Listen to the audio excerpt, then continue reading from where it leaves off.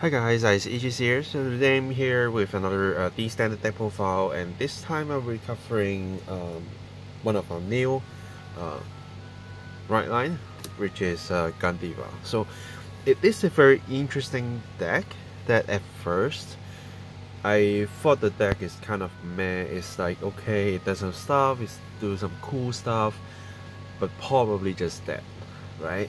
But then it surprises because you can just kind of making it as a budget deck and it just bring you games and it just keep topping and as long as is there's a like a trio tournament you can always see uh, Gandiva being an option as well. Not all people will pick Gandiva but uh, you still have a high chance. And let's look into the deck list and find out why.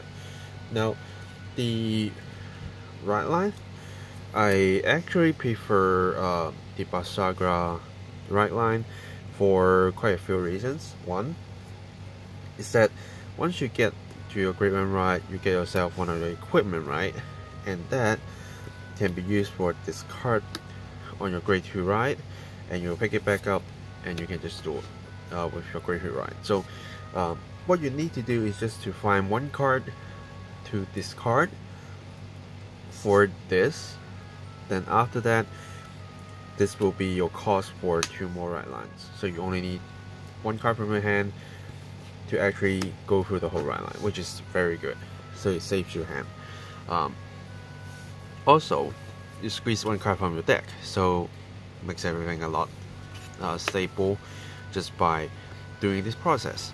Now some people still prefer to use the uh, original right line for like a free uh, right depending on if your opponents have a lot of stuff or uh, don't have a lot of stuff or get a free call if you have your opponents have a lot of stuff on the field. But um, I prefer to just take out those randomness because uh, when playing this deck I want to make it simple. So I don't want to make myself to be in a situation where I want A to be done but instead we need to go for B or when we want B to be done, it goes to A. With this ride line, you always just ditch one card for this, going here, going here. So you don't need to worry about any other things. Um, and this is one reason why uh, Overlord was trying to use at least the great one to grab you something just you can ditch for a free ride line. So yeah, and this of course is one of our main deck card and then we have two of the best harvest. So this is a very good draw power card as long as you can retire a lot of stuff uh, during your main phase. Um, so that's basically it and if you use it well you can actually get to draw a lot of cards. And uh, some people actually questioning like the timing to actually use this card. But to me it's like basically you have it you can just use it because if your opponent have a lot of regards you retire a lot of them you get to draw a lot. If they only have one you use this plus Gandiva skill you already can draw two right? So it didn't hurt you at all. And uh, well let's also look into uh, Gandiva skill just in case if anyone of you don't know about his skill. So first is during a turn if your opponent's Blue Guard is being retired, you can bind one card face down from your drop zone. You can, it's not a must. And then uh, during a turn, for each face down card in your bind zone, your friendly units will get plus 2k. If you have 5 or more, you get one critical. So as long as you bind 5 of your own cards from your drop zone, you will have plus 10k to your friend, which basically is kind of a persona ride and you get a crit and then uh, a once per skill, kind of last one. Then you can choose up to five of opponent's regards, and each one of them have to be has to be like different grades. So you can't pick two grade zeros. You need to pick only one grade zero, one grade one, one grade two, one grade three, one grade four, or maybe one grade ten, depending on what uh, your opponents have. But you choose five regards that has to be all in different grades and after that you will uh, review the top 5 cards of your deck. And if the cards you reviewed matches any of the grades that you selected for your opponent's regards you get to retire them. So say if your opponents have a grade 0 1 2 and 3 on the field and you target all of them because they're all different grades but if they have a 0 0 1 1 then you can only pick one of the zeros and one of the ones.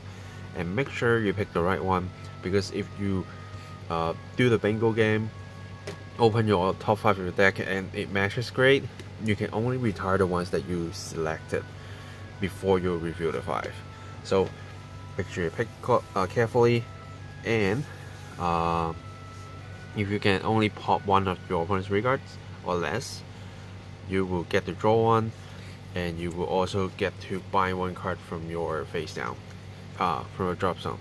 So that is very important.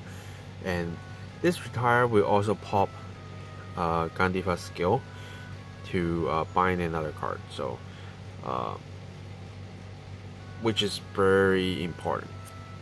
Is you always want to have uh, five at least five cards bind face down as fast as possible so that actually helps you a lot.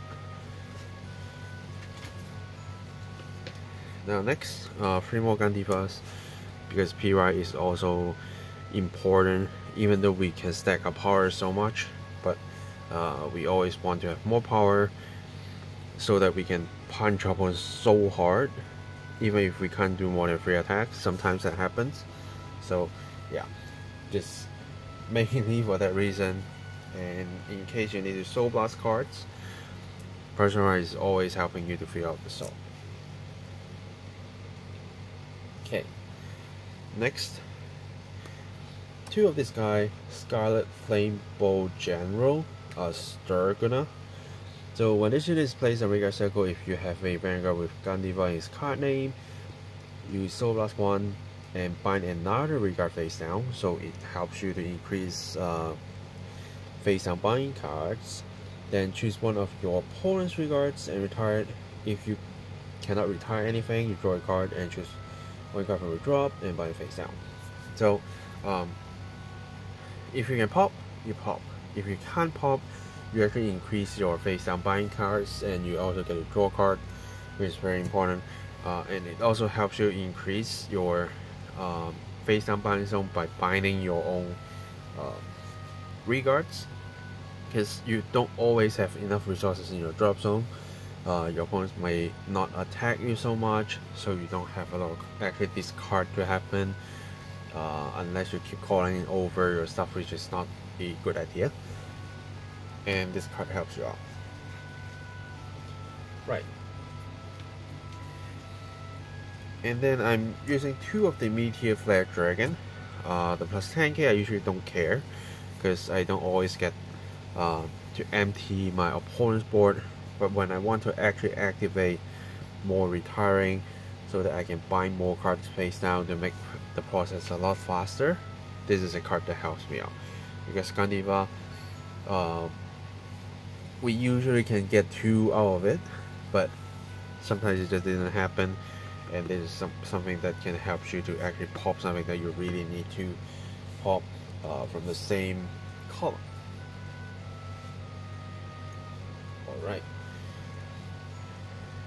next is uh, Dragrita Elfakar so this is a direct Gandiva support. When your Vanguard is a Gandiva uh, attacks a grade 3 or higher vanguard, you can counter plus 1, bind this guy face down, so again it helps you to increase that. And look at the top 5 cards of the deck, choose up to one 3 or less unit card from among them, call the regard and shuffle your deck. So this is your uh, 4th attack enabler, but you make sure you do attack with this card first, because his skill pops when your Gandiva Vanguard attacks. So you need to attack with this first, use your Gandiva to attack, bind himself, call another one so that you can do more damage and this face down bind will be another 2k to your front row so the new card that you call um, can always be hitting something at least. Next, uh, I'm running four of the Scarlet Flamebolt General uh, Ru. So his skill is when this unit plays on Rearguard Circle, if you have a uh, Gandiva Vanguard, Blast 1, choose one of your opponent's Rearguards and retire it. If you cannot retire, draw a card and choose one card from your drop and bind it face down. So yet another retiring. You pop uh, Gandiva skill, or if you can't pop, you can at least draw one card back and bind one of your own. So you still get to bind uh, by all means, which is very important. Uh, I usually just use him to draw, but if I really need the retiring power, he's always here. Uh, and then it will activate Gandiva to bind another card. And to uh, squeeze my deck even more, since I'm doing a lot of main phase uh, retiring, I'm using a Dragon Tree Red Draco Batical. So this card, I don't place any Dragon Tree markers because we don't have any mask unit and unless Gandiva is going to get a mask which maybe not uh, we don't activate that part. And the second skill is when your opponent rearguards is retired during your main phase. Once per turn so last one on the top 5 of the card uh, of the deck. Choose up to one graveyard unit among them call it the rearguard circle shuffle your deck. So you actually have a chance to uh, increase your board. Of course it's not always happening because we do run a lot of like grade twos and threes but um, being able to have a chance to do that is already helping you a lot. Sometimes it just you you will bind your own stuff. You will uh, have some of them retire because they are a threat to your opponent and this card at least helps you bring some back. At least have a chance. And next is a very important card of the deck which is uh, Swordsman of Crimson Crimson Scales, uh, Barnia, Barnonia. Yeah, I don't know how to pronounce that. Uh, at the end of a battle, that unit, this unit boost. If uh, any player's rearguards will retire this turn, then you can bind this unit to draw a card. So you increase your bind and turning this card into another card in your hand so that you can survive for your opponent's turn, then you can swing them hard again next turn. And as long as you keep binding your own cards, any card in your hand can be a beater, right? Because if you bind 10 cards, it's plus 20k to the front row. Even a trigger hits 25k, that's enough. And this is already like 28k, that's still big enough. As long as you get the 10 bind, uh, that will help you a lot. And then I'm running two of the Scarlet Flamebolt Soldier Bowsen. So this card has a back row rearguard circle skill, make sure it's back row. When your Vanguard with Gandiva uh, in name attacks, so it's uh, the same timing as this. If your bind zone has three or more cards, which is very easy, you can bind this card face down and counter charge one, so that you can uh, actually prepare um, for the next pop, uh, for the next turn you use Gandiva because we are not using the ride line there's no uh, cost reductions and counter charge is actually quite important in this deck so here we are. And then uh, for PGs if you want to use the uh, older PG feel free to use it. I just don't have that much around me uh, but so far this is still fine. If you uh, in a meta with a lot of uh, triple drive free to chuck in the promo PG but again to me it doesn't matter too much. And triggers. Uh, Dragon Empire OT because we have crit we have high power we're standing always good. And to uh, make sure opponent is always trying hard to guard. So in crit 4 normal crit 4 and then 3 10k draws and 4 heals. Uh, heal I so far don't see a need to switch into any of the effect heals because um, just staying base with 15k shield is good enough at least that's what I think. Um, draw we do have a lot of draw power but I still think draw trigger is kind of safer than using front in this deck. Um, of course having front will make your front row hit a little bit harder but we are not in a position that we always want to protect our front row because they are always cards that finish using their skills. So what we want is to draw into something that can go to the field and use the skill. So at least from my point of view I think draw is still better than front. But if you like front a lot more feel free to use front more than draw. That's totally fine. But if you ask me in a Gandiva deck do I prefer front or draw? I would say draw. Yeah. As long as we keep drawing cards we survive we guard a lot easier and then we just swing back. And as long as it's get back to our turn we will swing a lot harder. And usually we can easily bind 5 cards. So uh, Gandiva will always have a crit. So your opponents will always need to guard the Vanguard attacks while being annoyed by high power Rigard powers. And as long as you have uh, the fourth attack going in that will just burn their brain because they need to save a lot of cards from you. Um, and that's how you win games. And that's what this deck is good for. It's just hit hard hit more than three times have a lot of cards in hand. You just don't know why you just have a lot of cards in hand. Guard for all the attacks and go back to you. You swing hard again. Your opponents keep dropping cards. And once the like advantage difference increase to a certain level you will just win yeah. So that's it for this this deck profile. Things are quite easy and I never thought this deck can go into this kind of a level because when I use it it just just crazy. Yeah. Just so easy to get mad. Because you can just okay I just pop this I pop that. In turn one I get at least five bind hit for crit hit four times and like in a turn or two I just win games. You just never know how easy it is until you actually try it. And most of that content is actually quite cheap even though I'm using some of the high rarities.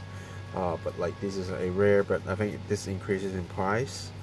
Uh, these are basically what in the set. Uh, this is a triple rare but if you don't have this that's fine. You can simply just chuck in uh, probably two more of this. It's just a common PGs are PGs and if you are really like hard to find the sewing crit you can just use normal crit. Doesn't matter at all. But uh, in festival collection we have some reprints as well so it's rather easier to get. But again if you don't have all the effect draws all the effect uh, crits that's fine in this deck. Trust me. It, of course if you are like compared to 5k draw to 10k shield draw um, 10k shield draw will be always better and you will always find a moment that you're lagging 5k and because you're not using that. That's for sure. But does it going to affect you every single match with this deck? I would say no. Yeah. So uh, up to you make it cheap have fun with it and if you want to make it slightly better pay a little bit more for effect triggers and you find yeah so if you have any questions let me know in the comments down below. Subscribe for more deck profiles deck fights unboxing videos. I do a lot of those. Um, yeah I just want to push myself a little bit more higher so any sort of help appreciate it and yeah probably that's it. I will see you in the comments down below and I will see you guys in the next video. Signing off